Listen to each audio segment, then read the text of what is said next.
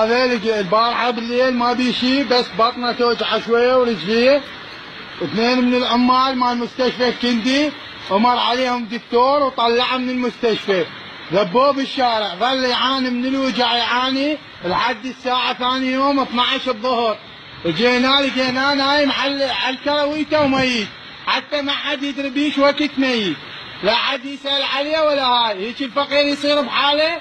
لو واحد عنده أهل وعائلة وسالين عليه ويا أربعة خمسة يذبونه؟ لو كبير بالدولة يذبونه؟ لو لو واحد كبير بالدولة ينذب بالشارع بس رجال فقير.